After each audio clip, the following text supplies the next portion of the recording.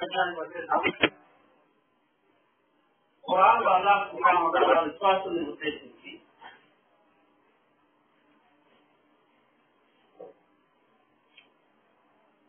أعوذ بالله من الشيطان الرجيم. بسم الله الرحمن الرحيم.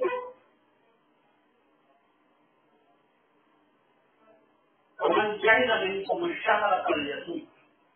ومن كان مريضا او على سفر فعدة من ايام اخرى يريد الله بكم اليسر ولا يريد بكم العسر ولتكملوا العزة ولتكبروا الله على ما هداكم ولعلكم تتقون ఇది అర్థం ఏంటండి ఈ ఆయ ఇంత ముందు కూడా మనం ప్రస్తావించుకున్నాం కాకపోతే నేడు మనం తెలుసుకోబోతున్న ఆదేశాలు వేరు. ఇందులో అల్లాహ్ కూడా విశ్వాసులను ఉద్దేశించేమంటున్నాడు ఎవరైతే కవిగడ ఈ మాసాన్ని పొందుతారో వారు విధిగా ఉపవాసం ఉండాలి కాకపోతే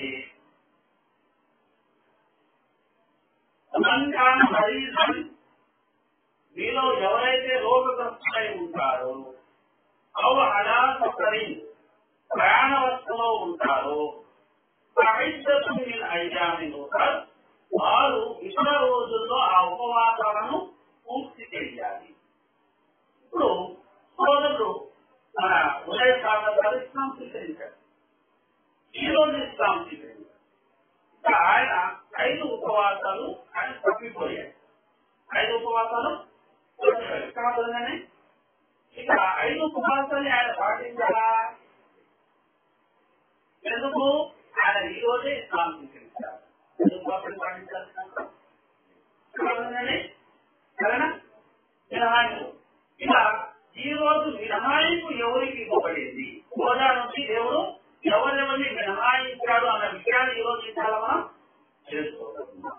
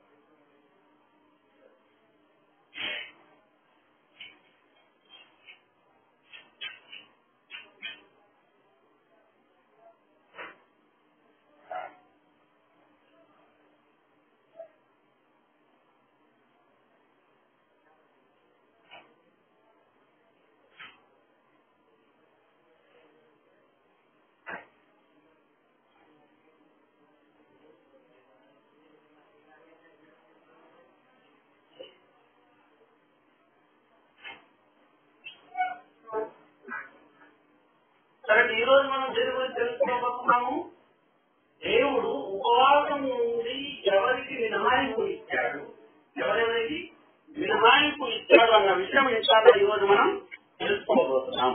అందులో మొట్టమొదటి విషయము సరేనా ఇస్లాం విధులు అది నమాజు అది నమాజు కానీ ఉపవాసం కానీ ఇతర యొక్క విషయాలు కానీ నమాజు ఇస్లామిక విధులు ఏవైతే ఉన్నాయో అవి ఏ వ్యక్తి మీద కంపల్సరీ అవుతాయి ఏ వ్యక్తి మీద తప్పనిసరి అవుతాయి అంటే అతను తెలివివంతుడై ఉండాలి. అలాగే యవ్వనస్తుడై ఉండాలి. యవ్వనస్తుడై ఉండాలి. చిన్న పిల్లల మీద ఇస్లామిక హిందూ తన కంపల్సరీ కావు.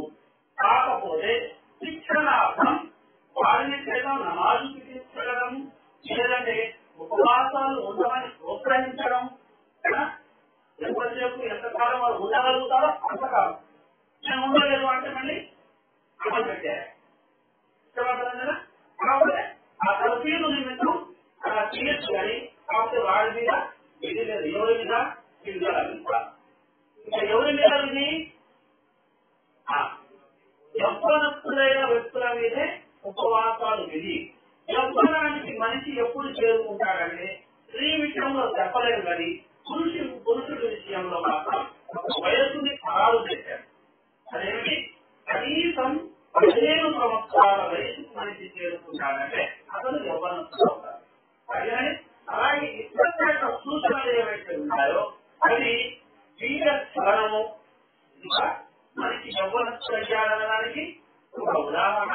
అలాగే నాభికి నుంచి వెంట్రుకలు రావడం కూడా ఒక అయ్యాడనడానికి చేత ఇలాంటి విషయాలు అంటే ధర్మ విషయంలో సిగ్గుపడడం అనేది లేదు. ఎందుకు? అన్ని విషయాలు మనం తెలుసుకోవాలి. మనం అన్నిటినీ బోధిస్తుంది సరేనా కనుక వయసు పరంగా సంవత్సరాల పరంగా మనం తీసుకున్నట్టే పదిహేను సంవత్సరాలు.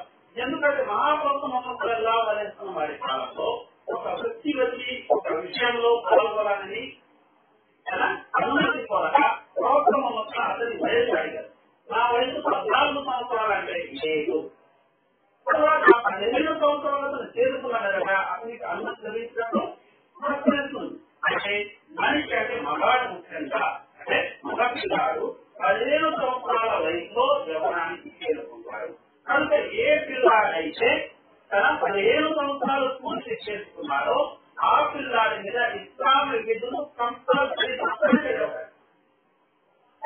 అప్పటి వరకు అతనికి శిక్షణతో మన నమాజు తిరిగి దానికి తీసుకురాగలం లేదు. రాగలం కానీ వెళ్ళడం కానీ చేయగలం కానీ ఖచ్చితంగా నువ్వు తెలియాలి అని మాత్రం ఒత్తిడి తీసుకోవాలి శిక్షణార్థం రెండో విషయానికి మనం వచ్చామంటే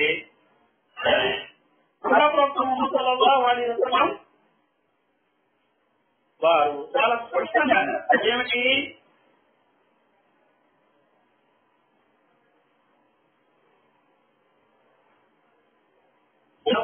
యవ్వనస్తుడై ఉండి కూడా అతను సంస్కారంలో ఉండాలి. స్వదేశంలో ఉండాలి తన వాతావరణం ప్రశాంతంగా ఉండాలి. అంటే పరిస్థితులు కూడా అనుకూలంగా ఉండాలి. ఉన్నప్పుడే అతని మీద ఏ విధంగా తప్పనిసరి అవుతుంది తప్ప అన్ని రాకుండా మినహాయించిన వారికి ఇవ్వడం అనేది జరుగుతుంది. ఇక తర్వాత విషయానికి మనం వచ్చినట్లయితే లోకం ముహమ్మద్లో వారి మాట చెప్పారు అదేమిటి? అతను తెలివివంతుడై ఉండాలి బుద్ధిమంతుడై ఉండాలి. ఒకటి బుద్ధిమంతుడై ఉండాలి రెండోది బుద్ధిమంతుడై ఉండాలి. ఇక్కడ ఏ వ్యక్తి మతి ధరించిందో ఏ వ్యక్తి అయితే పిత్రుడుగా ఉన్నారో అతని మీద ఏలాంటి సమస్యలు లేవు. కానీ కాకపోతే కొందరు ఉంటారు వారికి కొంతకాలము పిచ్చి వస్తుంది మతి తెలుస్తుంది మరి కొంత సమయానికి బాగైపోతుంది ఇలాంటి యొక్క ప్రతిష్ఠితో లేని వాడిని మనం గమనించగలము. వాళ్ళు నమాజులు కూడా వస్తారు బాగా మతిస్థితులు బ్రహ్మాండంగా చదువుతారు. మతిస్థితిలో వాడి కాస్త కోల్పోయారనే పని స్థితిగా వాళ్ళు వివరించడం అనేది చేస్తారు. వీరి గురించి చెప్పబడిన విషయం కంటే వీరికి స్వేచ్ఛ ఉంది. ఏకాడి ఉంది. వారి యొక్క ప్రతిష్ఠితం బాగున్నప్పుడు అవకాశం ఉండొచ్చు ఒకవేళ వారు ఉండాలనుకోండి ఒకవేళ వారు ప్రతిష్ఠితం బాగున్నప్పుడు ఉపవాసం ఉండాలనుకోండి కాకపోతే ఉపవాసం విరమించక ముందు ప్రతిష్ఠితం కోల్పోయింది. ఉపవాసం మొదలైందా కాలేదు. ఉపవాసం పూర్తయింది. ఉపవాసం చూడండి అల్లా ఉపవాసం మొదలుగా కదా. ఎందుకు? అతను ఉద్దేశపూర్వకంగా ఎంత బాగా క్రియలు. అలాగే మనం ఇంతకుముందు ప్రకటిస్తున్నాం మతిస్తున్న బాగున్న వ్యక్తి కూడా నేను ఉపవాసం ఉన్నానన్న విషయాన్ని మరిచి ఒకవేళ అతను తిన్నాడు తాగాడు అంటే సరిగ్గా అతను తినలేదు తాగలేదు దేవుడు అతను వినిపించాడు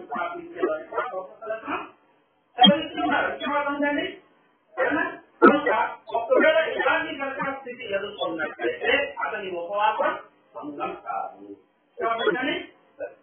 ఇక తర్వాత విషయానికి మనం వచ్చినట్లయితే బ్రదర్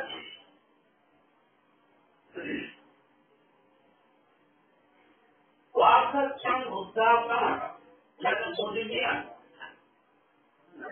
ముదిమిలో కొన్ని ముచ్చట్లు ఉంటాయి ఏమవుతాయి ఉన్నాయని ముదిమి ముచ్చట్లు అంటారు కాబట్టి ఏముంటాయి ఆ ఇంటమ్మ ఎక్కడ ఎలా ఉంది?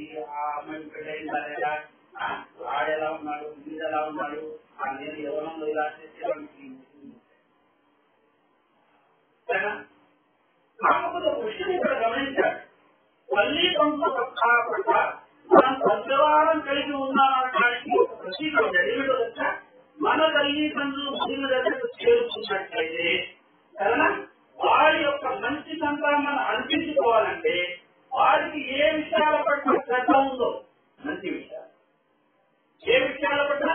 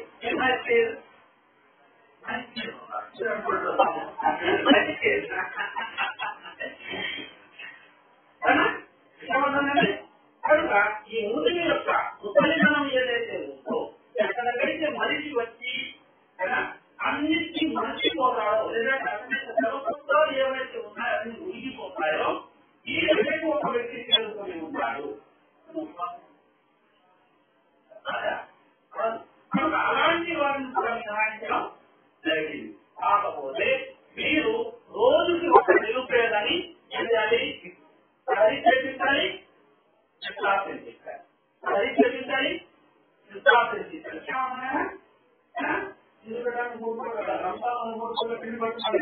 ఉంది? పెట్టుకోలే పని చేయించాలి ఒక విషయం ప్రధాన మనం గుర్తుపెట్టుకోవాలి. అదేమిటంటే మనం ఉపవాసం ఉంటున్నాం కదా అందులో ఒకరు ఉపవాసం? మనం ఏం చేస్తున్నారో ఉపవాసం. విరమించే ఏర్పాటు చేస్తున్నారు. ఉపవాసం విరమించే కనుక ఎవరైతే ఈ ఏర్పాటు చేస్తున్నారో మనం ఉపవాసం పుణ్యం వారికి ఇక్కడ మనం దీనివల్ల ఏం ఇక్కడ ఎవరికి అవసరం అందరూ కడుపులు కాకపోతే మన ఇండియాలో మాత్రం మన పిల్లలు మాత్రం అవసరం తెలుసుకొని ఒక పదో ఇరవయో లేదంటే ఒక యాభయో క్షమతన ఆలోచించాలని పంపించేసి ఈ నెలపాటు గంజి పెట్టామంటే యాభై దినాలు సరే పూర్తి ఊరు మొత్తం చదివిస్తారు కనుక ఆ విధంగా పుట్టాన్ని సంపాదించుకోవాలి. మరొక మంచి పద్ధతి కూడా మీరు చెప్తున్నాను కదా? ఇది అక్షరాల మన స్టూడెంట్ ఒక స్టూడెంట్ పాటించే పద్ధతి చాలా అద్భుతమైనది అందరినీ పాటించారు. చాలా అది వచ్చాయి పది దినాలు ఇండియా ఇండియా పంపించారు ఎందుకన్నాను దినాలు ఇండియా పంపించారు సిలబస్ ఎంత అవుతుంది పదిహేను వేలు పదహారు వేలు రోజుకి రోజుకి యాభై రూపాయలు అనుకోండి. ఎలాగంట? కొంచెం అయిపోయిందా?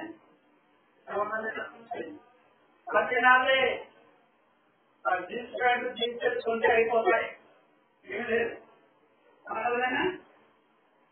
అనగలనా వాళ్ళు చేసిన తెలుసా ఈ పట్టణాలు ఇంటికి పంపించి? పదిహేను వందల ఏదైతే వస్తుందో రోజుకి యాభై రూపాయలు రోజుకి యాభై రూపాయలు. మన ముందే చాలా ప్రత్యేకం కాదు. చిన్నగా ఉంటాయి. చాలా తక్కువ మంది ఉండొచ్చు. మనం తెలిసింది ఏమిటంటే తన భార్య చెప్పాడు రోజుకి ఐదు మంది నిరుపేదలకు పది పది రూపాయలు మళ్ళీ ఒక అవుతుంది చూసేదైనా ఎంతమందికి పది పది ఐదు మందికి పది రూపాయలు ఆ విధంగా పది నాలుగు నెలపాటు ఆ ఊర్ల స్త్రీని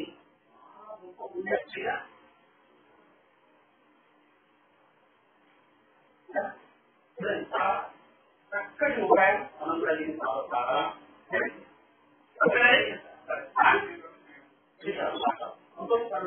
మనం కూడా ముందు అడుగు వేయాలి ఎందుకైనా ఈ రంజాన్లో మీకు పది దినాలు ఖర్చు పెట్టాలనుకో దినాలు ఖర్చు పెట్టినట్టు మామూలు రోజులు. ఎందుకు? పుణ్యం మాట్లాడమని పది దినాలు ఎవరు కనుక పది దినాలు మనం ఖర్చు చేస్తే వంద దినాలు ఖర్చు చేసిన పుణ్యం కాకపోతే ఎప్పుడైతే ఇక్కడ ఏం చేయాలి మనం జోడించాల్సి ఉంది అంటే ఎంత అవుతుంది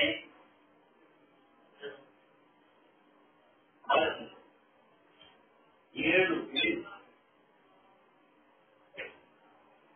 అంటే ఏడు వేల దినాలు అక్షరాల మీరు దానం చేసినట్టు అవుతుంది డెబ్బై వందలు కూడా గురించాలి డెబ్బై వందలు అవుతాయి. డెబ్బై వందలు అంటే సమాధానమేనా?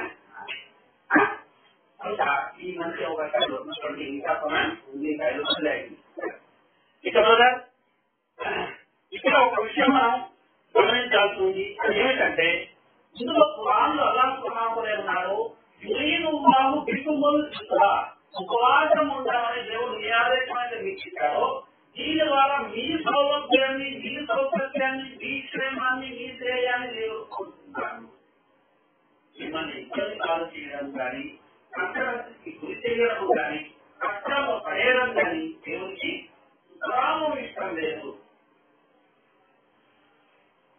వీళ్ళు బాబు దీపములు చెప్తున్నా ఈ పట్ల సౌకర్యాన్ని సౌలభ్యాన్ని దేవుడు ఇష్టపడుతున్నారు కోరుకుంటున్నాడు అలా మీరు దీపముల వల్ల మిమ్మల్ని ఇబ్బంది పాలు చేయాలని దేవుని ఉద్దేశం కానీ కాదు మనం చూడండి ఎన్నికటువంటి మినహాయింపులు కూడా ఇక్కడ దేవుడు ఇచ్చారు తర్వాత విషయాన్ని మనం వచ్చినట్లయితే ఇంట్లో ప్రయాణికుడు అలాగే ప్రయాణికుడు ప్రయాణికుడు అనేవాడు రెండు రకాలుగా మనం ప్రయాణికుడు అర్థం చేసుకోవాలి ఒకటి ఒక ప్రయాణికుడు ఉన్నాడు కాబట్టి అన్ని సౌకర్యాలు ఉన్నారు ఏసీ ఉంది ప్రధానంగా కాకపోతే ఎంత దూరం అనడానికి ఒక సురక్ష యొక్క వాతావరణం మనం ఆలోచించినట్లయితే రెండు వందల కిలోమీటర్ల దూరం వరకు మాత్రం నాయకుడు ఎందుకు అది ఏ భాగం మనం తిరిగేస్తున్నాం రెండు ఉంటే నూట రెండు కిలోమీటర్లు తిరిగేస్తున్నాం అదేనా రైలు ఉన్నాడు నూట ఐదు నలభై నిమిషాలకి వాళ్ళు నిమిషాలు సామాన్లు పంపించారంటే అయిపోయింది తిరిగేస్తున్నాం అది ఇబ్బంది కష్టంగా అదే భారతదేశ వాతావరణం బాగా ఎంత? ఏది లేదు.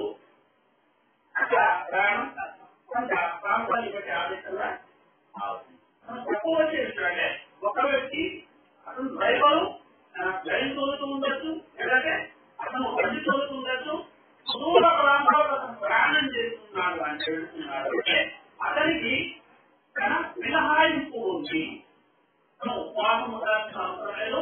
ఎప్పటికైతే ఆ వేడి తీవ్రత తగ్గిపోతుంది అంటే మంచి చలికాలం అందరూ వచ్చింది అనుకోండి సమస్య ఏంటంటే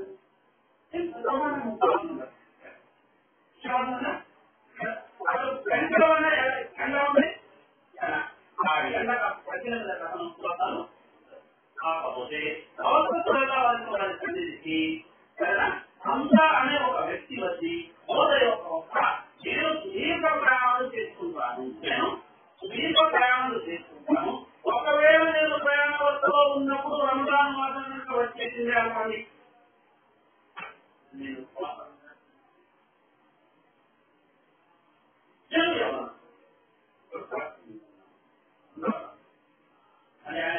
నేను దీన్ని కళా చేసి కళాకారాన్ని పూర్తి చేయడం కదా ఇలా అప్పుగా నాన్న చేసుకొని మళ్ళీ దాన్ని పూర్తి చేశారని కదా. ఈ వాటిని ఇప్పుడే నిర్వర్తించడం మంచిదని నా అభిప్రాయం మీ అభిప్రాయం ఏంటి మీ ఉద్దేశం కనుక ఒక వ్యక్తి ప్రయాణ అవసరం ఉంది ఉపవాసం ఉండడం నాకు ఇబ్బందికరం కాదు అని ఫీల్ అవుతున్నాయంటే అతను ఉపవాసం చేయాలి నా మనకు సరస్సులతో ప్రయాణం చేసి వెళ్ళేటప్పుడు ఉపవాసంతోనే ఉండాలి అక్కడ నమాజ్ చేస్తుంది చాలా తీవ్రమైన ప్రచండ సృష్టిస్తుంది వారు ఆ ఎండ నుండి మనల్ని తాము కాపాడు మీద పెట్టుకున్న తల అలాగైనా అద్భుతం ఇప్పుడు చేస్తామండి ఎక్కువ ఉన్నప్పుడే. చెప్పవలసిన విషయం అంటే సమయం అవగానే అనేక మంది వచ్చి ఏం చేశారు? ఫిర్యాదు చేశారు. అనేక మంది వచ్చి ఫిర్యాదు చేశారు ఫిర్యాదు వదిలేకపోత ఆ పరిస్థితి కళ్ళు తిరుగుతున్నాయి రోజులు కళ్ళు ఇంకా ఎప్పుడు ఏమడిపోతారా లేదు కనుక ఉపవాసం విరమించేయండి ఉపవాసం ఉపవాసం విరమించేయండి నేను విరమించాను ఎందుకంటే నేను పంచదార్థంగా నాకు పని నేను నచ్చి రావాలి నేను ఉపవాసం మీరు విరమించండి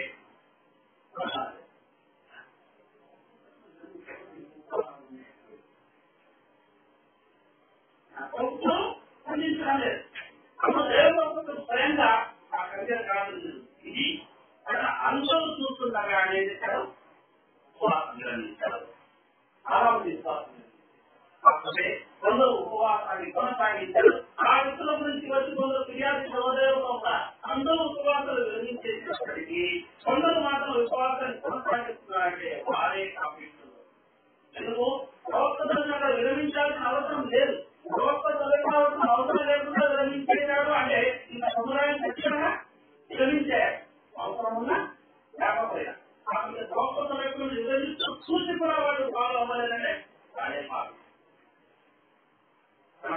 అలాగే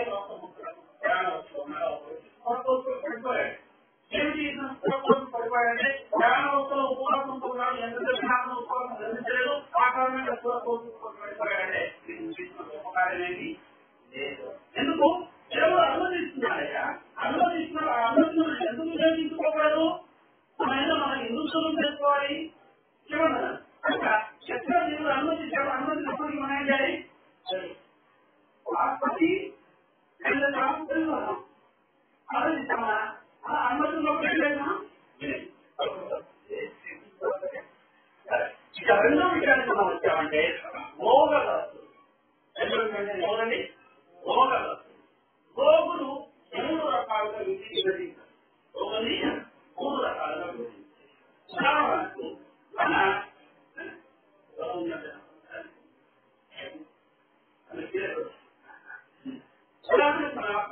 ఐదు ఉందనుకోండి.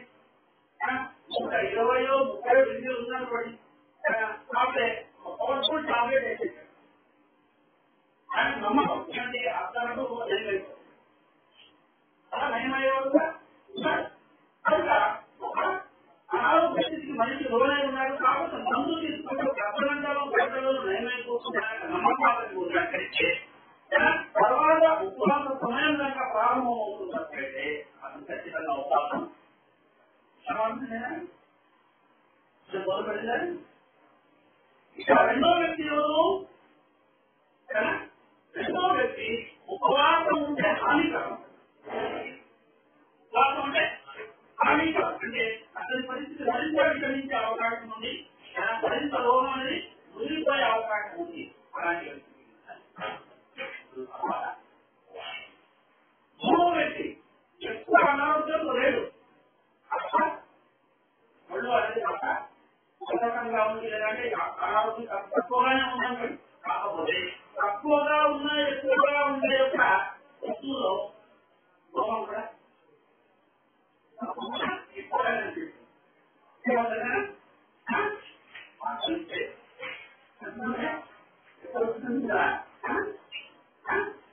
ఎక్కువగా ఉన్నాడు ఇబ్బందిగా ఫీల్ అవుతున్నాడు ఎలా ఫీల్ అవుతున్నాడు నేను ఉండేది ఇబ్బందిగా ఫీల్ కూడా ఎలా